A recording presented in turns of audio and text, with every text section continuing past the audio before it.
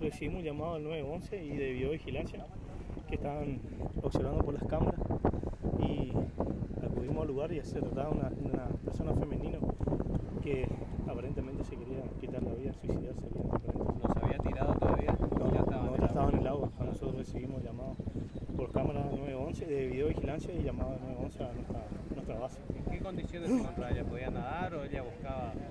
Y, no, cuando llegamos ya estaba, ya estaba, estaba muy débil, estaba, estaba tomando agua, mucha agua.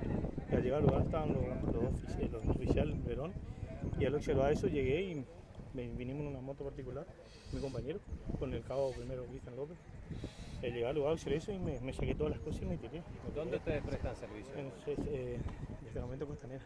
O sea que la, las cámaras sirven y mucho para estos sí, casos. Sí, no, ayudan un montón porque observan, observan cualquier tipo de, de falencia que haya dentro de, de, la, de la cinta asfáltica, lo que es la costanera, avenida costanera, y en el río Paraná sería en el agua. Lo vemos el oficial del Bordón que todavía no se puede recuperar sí, del trabajo que ha hecho. Sí, sí, él estuvo luchando para salvar la vida y, y bueno, estuvimos, estuvimos con el cabo, el cabo López, Cristian también.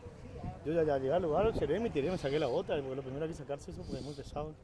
Y bueno, y llegué, llegué al lugar y lo único que tenía era tranquilizar a la víctima y hacer la técnica de, de, rescate y bueno, tratar de sacarle del agua. Y eso es lo que hicimos entre todos, en conjunto con mis compañeros. ¿Tuvieron que reanimarla? ¿No fue necesario? no, no fue necesario, gracias a Dios no fue necesario porque todavía no estaba estaba consciente, tomando agua consciente.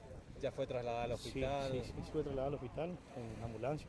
¿Pudo venir a un familiar? Eh, se encontraba el novio en el lugar. El novio de la. No saben los motivos por los cuales se arrojó, desconocen no. totalmente, ni, ni, filiación de la persona. No, no, la verdad que desconocemos. Pero gracias a Dios, bueno, y ayuda a mis compañeros, tratamos de que ella hoy día por lo menos esté Trabajo cumplido.